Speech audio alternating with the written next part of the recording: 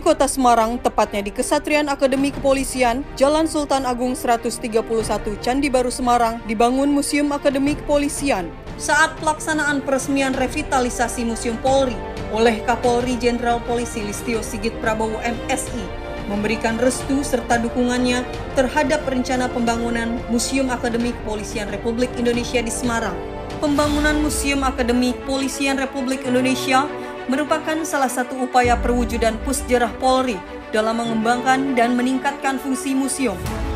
Museum Akademi Kepolisian Republik Indonesia dirancang dengan tampilan yang modern, membuat suguhan konten menjadi lebih menarik.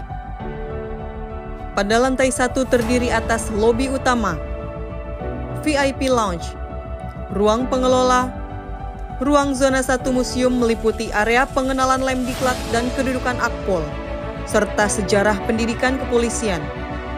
Ruang zona 2 museum meliputi sejarah perpindahan akademi kepolisian, potret taruna dari masa ke masa, dan reformasi pendidikan akademi kepolisian.